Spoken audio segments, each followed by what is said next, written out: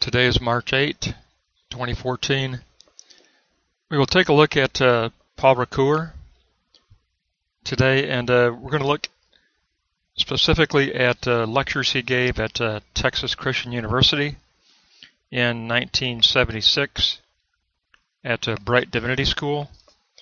And it uh, emphasized hermeneutics, especially biblical hermeneutics but the lecture series he gave first had to deal with his fundamental phenomenology and how we arrive at a written text, and then he could get into his hermeneutics. So basically, he had to present a his his view of a phenomenology uh, in a postmodern sense in order to talk about uh, writing, and that's the discussion we're going to have today. We're going to take a look at uh, the first two lectures of that series, and the first two lectures dealt with uh, the post, his postmodern position as uh, taking up Husserl, but uh, with the integration of Wittgenstein, because Ricoeur was very much centered in a linguistic approach to his philosophy, so he has a unique position because he's going to uh, read Wittgenstein through Husserl. He's going to read Wittgenstein through Husserl, and by doing so, he will propose a linguistic postmodern position, and it will be a, uh, very much in the tone of a Wittgenstein, but it's going to be encased in a, a uh, structural form very similar similar to Husserl. So we'll get a, a uh, Wittgenstein content in a Husserl form when we look at Ricoeur. And because we get a Husserl form, we're going to be able to approach Ricoeur as we would any postmodern thinker, and we can start out with that uh, unconscious side of uh, the uh, Christian or subjective spirit, the psychology of the subjective self and we'll start with the unconscious, and then we'll proceed from there, and we'll uh, pass through the axis threshold of uh, pure subjectivity. And then out of pure subjectivity, we will enter into the cognitive consciousness, and we'll get into uh, Ricoeur's specific steps of leading up to writing. Now, the good thing about Ricoeur as he does assume that the system is already run. And so, uh, in the same way as Husserl, he does say there is a returning um, fringe influence of our initial work in an external situation. And that fringe of influence uh, is on the periphery, and we do pick it up through a tangential type of attentiveness. And so this fringe influence that is uh, an existing reality in our external situation, according to Ricoeur, has six aspects. Uh, when it returns into the self, it returns as an abbreviated sign model. We did the cognitive work of forming a uh, sign model in consciousness. Well, when it returns, we kind of consolidate it. Uh, so a, it becomes an abbreviation of uh, the conviction we gained in cogn cognition. It's a iconicity. Uh, it presents a revelation of a deeper sense of meaning. And here's key. It takes an, uh, a form of aesthetics. So for Ricoeur, what we return with, what qualifies the new uh, the new new new venture in uh, perception and cognition it's going to be aesthetics. It's going to be art. Art, the return out of the cognitive is going to be artistic. It's going to take the shape of a, you know, visual art, poetry, narrative, fiction.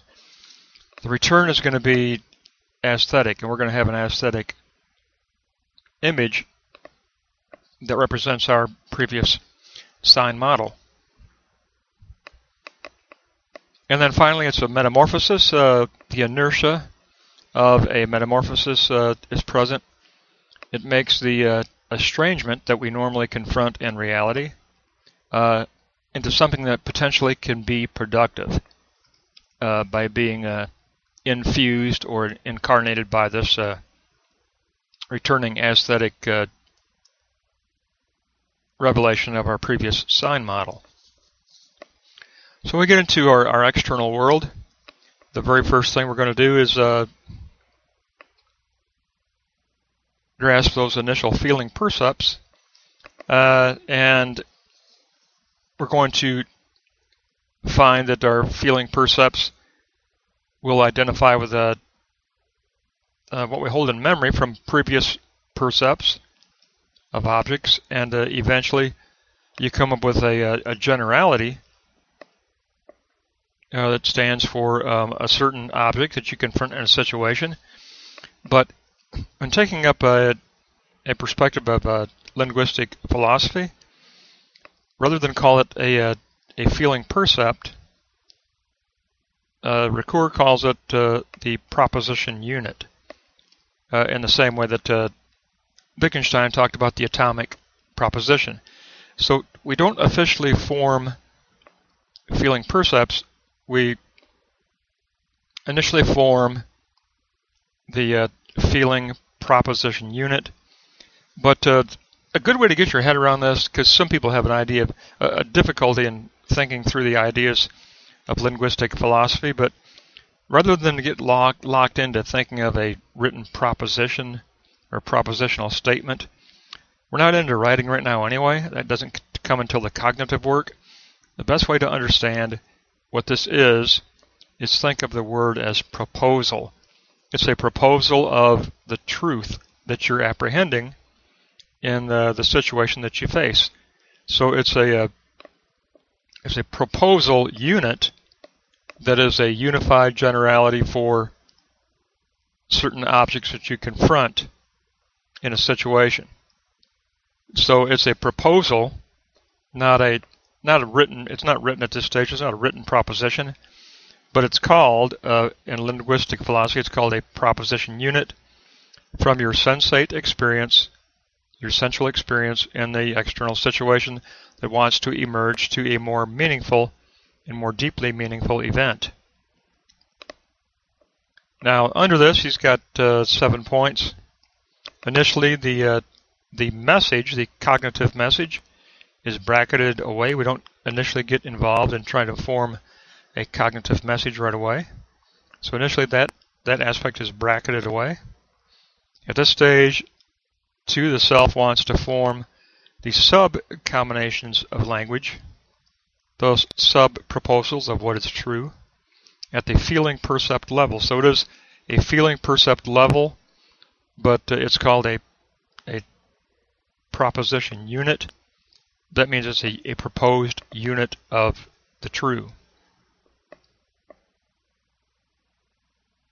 Now, three acts of discourse actualize these feeling percepts of the true and present, and it also presents a language code of structure uh, of an overall system. So there's uh, within a, an external situation, Ricoeur says that we are confronted by individual objects that can be uh, acquired under a generalized feeling percept unit label. And that is our proposed unit, our propositional unit for that singularity. It's atomic. Wittgenstein called them atomic propositions. But within that same external situation, there's a directional sense that is also presented in this situation that is uh, trying to emerge to event. So that directional sense is trying to emerge, and it is presented in the act of discourse. So the uh, for the emerging language event presents propositional content in distinctive units and it, and it presents those distinctive units as a kind of quality and a type of relation. A kind of quality and a type of relation. So this first stage, uh, like we've discussed in past uh, individuals, uh, we're dealing with the uh, the individ individual components, the individual elements that will make up our thought picture, because on the unconscious side we form a thought picture. So initially we grasp the individual elements that will be the plurality making up our thought picture. So they are little subunits because they're going to fall under a generality that might have a, you know, quite a few examples in our memory that we've held, but eventually they're uh, consolidated into an abbreviated feeling percept, which is called the atomic proposition, the atomic proposal of truth for that unit. Now the uh, the next stage in the unconscious, as we've discussed before, but we're going to unify the subunits into an overall thought picture that's uh, a holism or an, an, a singularity of unity that unifies all of the uh, those finite sets of uh, atomic proposition units. So uh, I've got uh, 11 points that Ricoeur gives us here. It is the it is the what is labeled the uh, singular proposition of unconsciousness because it uh, a singular proposition that uh, abbreviates a plurality of subunits, of subatomic units. So it's kind of a, a, compound proposition at this stage. The compound proposition will abbreviate a group of atomic propos propositions. So number one, it's a collective plurality. Number two, it is a set of elements. Number three, intentionality is not formed here. Now that's different for Ricoeur uh, because we heard from some previous thinkers that intentionality is formed at the thought picture level of the unconscious. Ricoeur says no, intentionality is not formed at the unconscious level of the thought picture. Not yet. So intentionality is not formed here. Instead, we have a system of finite sets of the phonological, the uh, the voice of the true that we hear, and the syntactical structure that is also present. So it's going to be phonological content and syntax structure. It will form a, uh, number five, it'll form a language picture. Six, it'll be a unity of finite sets of phonological entities. Seven, it'll be arranged as a synchronicity only. No intentional model here. We just synchronize the elements together roughly in a primitive ordering. So it's a very, very, very uh, kind of a proto first arrangement in a synchronicity, just a synchronous arrangement of these sets. And eight, uh, it is merely a mechanical synchronicity of sustainment. Nine, there's still need for additional partitioning and encoding to encode it to a deeper level and to move it beyond this simplicity. And 10, synchronicity is influenced by the returning fringe hermeneutic that we talked about. The fringe hermeneutic, that little uh, counterblow, doesn't just affect the first step of requiring the atomic propositions, it also affects this moment of the compound proposition that unifies the atomic propositions. So it does have that uh, influence from counterblow of that uh, aesthetic held kind of a body state of what we believe to be uh, the foundational base of our motivation. Now from there we do go to the Do Dokunta threshold, which is uh, that uh, threshold of engagement with others, where we share convictions, we share feelings, we share uh, well, this is what I believe. This is what I believe. It's it's it's not sharing, you know, cognitive lectures. You know, we don't get into cognitive sharing until the uh, composition threshold and cognition. The Dokunta threshold that uh, Aristotle um, introduced is uh, the threshold of discussing motivations. discussing feeling percepts, discussing uh, primarily horizon. Primarily, it's a discussion of trying to define the overarching horizon of our thought picture in dialogue with other individuals and their thought picture. So we gather together the, at the Dokunta threshold with our, our own individual thought picture. We offer that, we discuss it with others in a very critical dialogue. We are critical of each other and we try to refine everything. And he gave us uh, three major points here. Each individual synchronous system of propositions is shared with uh, the intersubjective community in order to achieve deeper encoding through partitioning.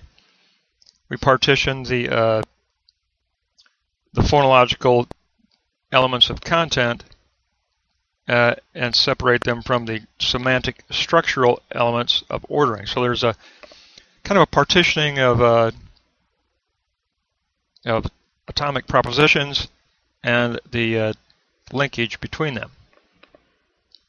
Two, a pictured ideal code system is formed, but message is still bracketed here, so we still don't have the cognitive message, the cognitive information of the directional sense, but we do begin to form a little bit of intentionality here at the threshold because we begin to discover horizon. So the cognitive directional message is still bracketed, but we get more of a an aesthetic language thought picture here with a horizon of intention. So now the thought picture has been, elevated.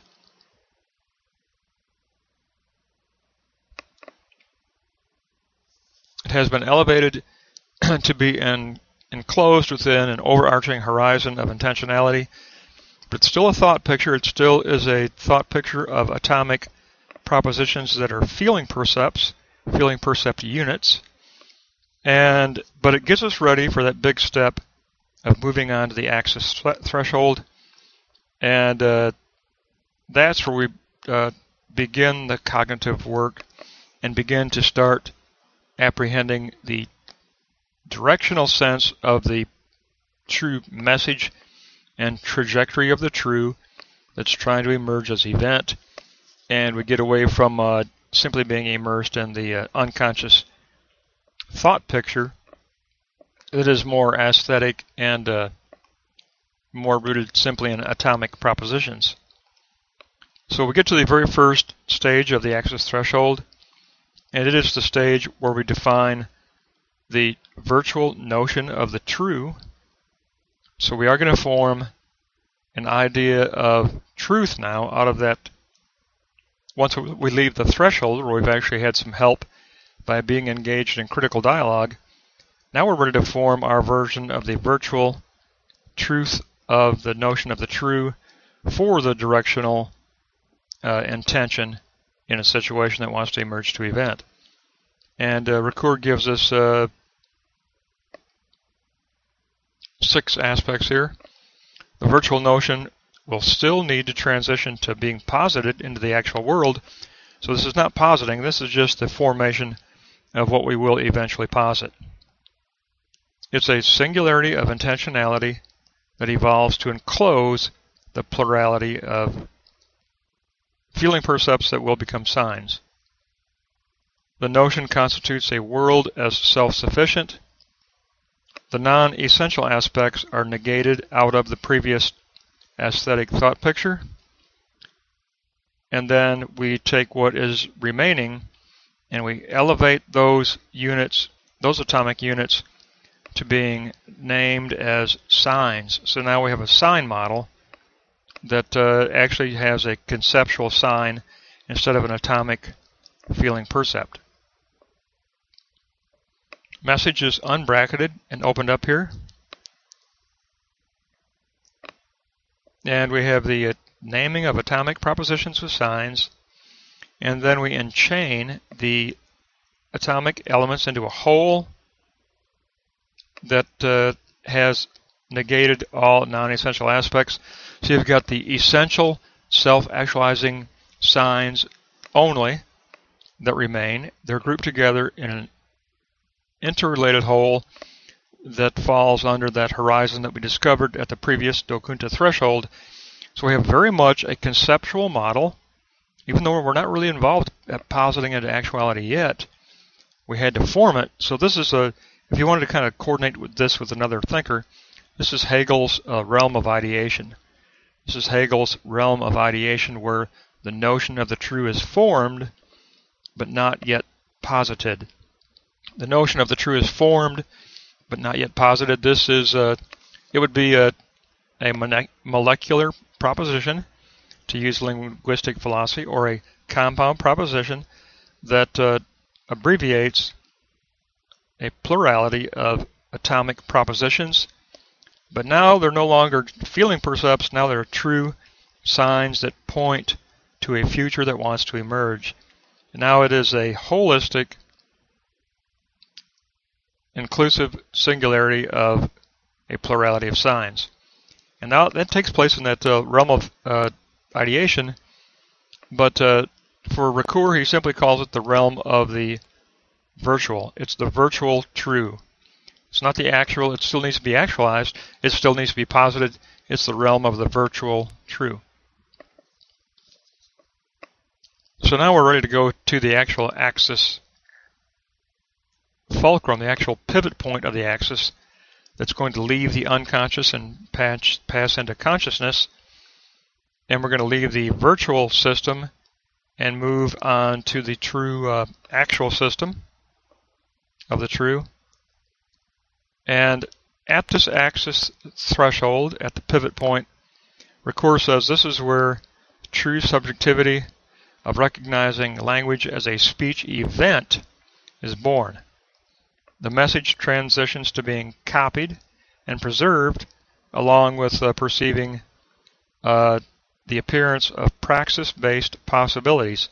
So we're getting ready to move into positing, so obviously we start evaluating the situation for places where we can actualize this notion of the true that we've we have formed. So now we want to find uh, where's the entrance point? Where's that point of emergence? Where do we want to posit this notion of the true and work toward making it actual? Where is the entrance point? Where's the node of entry? So in order to do that, you have to define the possibilities that are available, and they have to be praxis-based in an actual historical situation. So the uh, proposition of the unconsciousness transitions to the event of consciousness.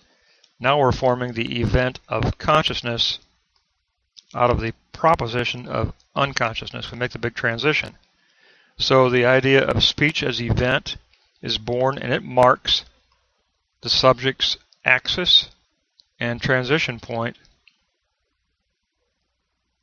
we move on to the actual posited and uh, articulated message of directional sense. And at this point, we actually form the uh, specific particular compound proposition that we will posit. We had the ideal version in the previous step of the virtual. Now we take that ideal version, we've looked at the possibilities that are available, and now we form a compound proposition or a molecular proposition.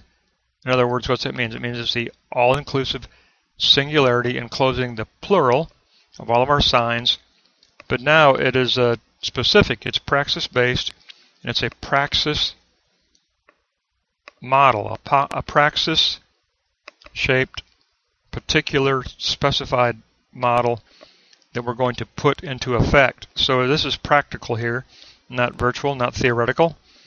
We've left the realm of ideation and this is the realm of positing. The axis point is the realm of positing. We're ready to move into the real, actual, actual world. So there's a key, key moment there. And it's just a moment of copying. You're not really adding uh, any information there. You're not adding detail. Uh, so you don't, you're not uh, changing what you've done. You're copying it to the cognitive side. And then from there, you're copying it again to the practical instead of just the ideal. So it's a preservation. You don't lose that true that you've worked up. It's a preservation of it, but you're transitioning. So the transition is going to take us to the world of semantics or the world of discourse. That's the center of Ricoeur's system, discourse. Because remember, the atomic propositions unfolded in the active discourse. Well, now we're going to enter into that active discourse in the world. We're going to contribute our active discourse to the other acts that are already taking place in order to influence the situation and, and let the situation emerge to event. So now we're getting involved in the actuality of discourse. Earlier we appropriated uh, atomic propositions from the actuality of discourse. So here we get to the real world and we're going to uh, posit our universal, ideal, virtual sign model. We're also going to posit our specific praxis-based sentence. Ricoeur calls it, just to differentiate it, rather than unconscious proposition, the ideal was the unconscious proposition, but we're going to couple it with the sentence of possibility. So he likes to give it even a different name. We will also posit the sentence of possibility along with that universal sign model. And that will create an anticipated propositional content. In other words, a, a, a new compound content, a new plurality of event.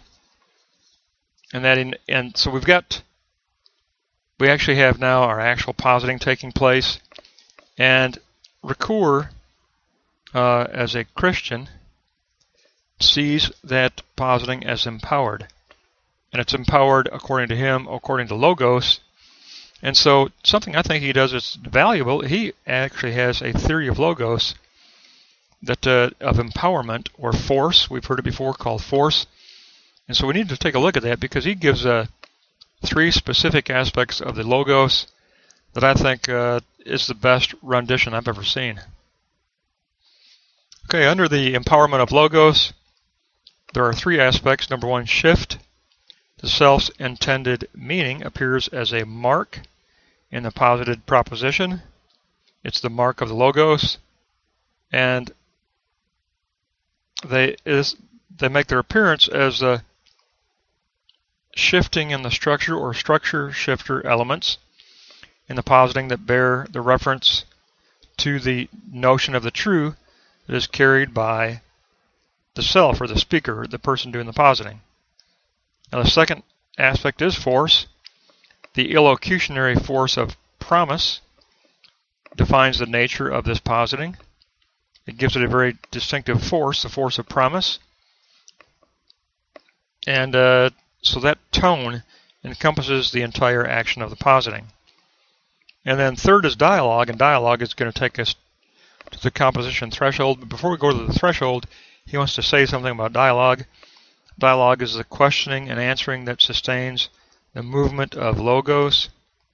The dialogue is the event. It equals the intersubjective exchange of the code or notion of the true, of the directional meaning and it is the aspect of the self-transcendence of the speech act. It is, it is the transcendence of logos. So the composition threshold is the place where the trans, transcendence of the logos becomes empowered. So the composition threshold is key for Ricoeur. That's why he doesn't live exclusively in that Da Kunta threshold like a lot of postmoderns do. He swings over and balances it and says uh, that uh, transcendence intrinsically depends on the composition threshold on the cognitive side of consciousness. So we'll take a look at that and that'll wrap it up. Okay, on the uh, the actual threshold, he says this is the activity of screening, the plurality of the uh, various posited codes and propositional content are screened and evaluated in a critical exchange between all of the individuals gathered at that threshold. It will address the propositional content, but also the uh, the illocutionary or the promise that the intentional form also presents. So a, it addresses the form or the structure as a promise structure, and the propositional content as the signs that uh, point to that horizon. Now it is a noetic.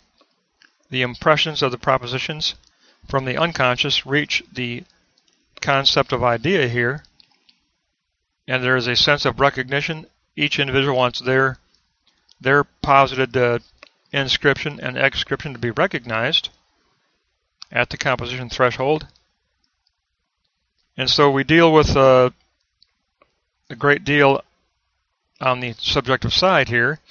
We deal with the uh, self-reference aspect of the logos, the promised character of the event, and the uh, aspect of expected recognition in order to arrive at uh, an agreed upon um, holistic intersubjective definition of the articulation of the truth.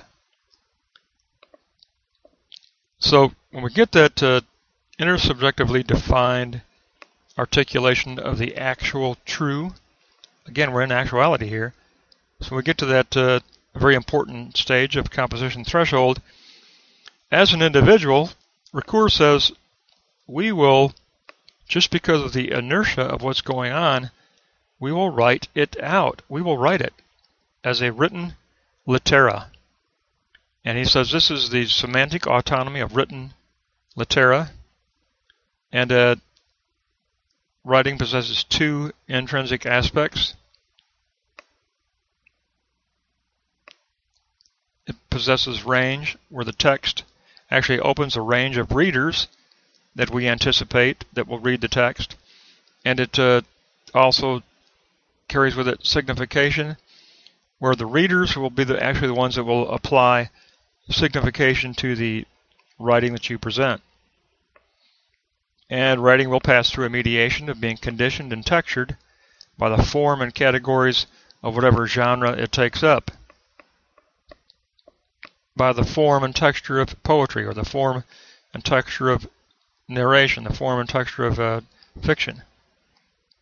Will, now, the key thing, writing opens up a discourse unto world and therefore transcends that very finite environment of situation. In writing, we leave the uh, particularity of situation and move out into the universality of world and world significance. We end up with uh, refer referential points that uh, are defined as aspects of being. We address the more existential critique of the aspects of being. They become our new referential points for our written narrative. And this is what we take back in the return. When we get to this point, this is what we take back to that return, where we form that uh, little abbreviated uh, motivational base of conviction that's going to help us when we start the process all over again. So it's that's why Ricoeur really what I love about his work is that he does maintain that balance. Even as a postmodern, he doesn't get stuck in the Do Kundta threshold. He wants to take us to the other side. He wants to give true empowerment to Logos, and then he wants to take an empowered Logos and take it to a threshold where we get together and really work on hammering out the truth, and then together with this uh, dialogue we can actually come up with a written exscription that is addressed at the world level of universality and that addresses the existential aspects that were uh, concentrated on so much by Heidegger. And so you really get uh, the full picture here with Ricoeur. And then when he completes this, he says, now this continues, it's the cycle it runs. It takes us back to uh, the unconscious side, but it helps us to reshape our motivational base, which is our critique for grasping atomic propositions. So there we go. We're right back to the unconscious and atomic propositions with a new, refined motivational base. So that'll give us a, a very good first overview of Ricoeur and uh, it lets us uh, realize that he does maintain a keep keeping a keeping a balance of uh, the uh, feeling percept type atomic propositions and the later molecular or compound proposition that's formed in the cognitive work that actually evolves to the point of being written litera. And that was from uh, a 1976 from TCU Press. And that'll wrap us up. That's right about 30 minutes.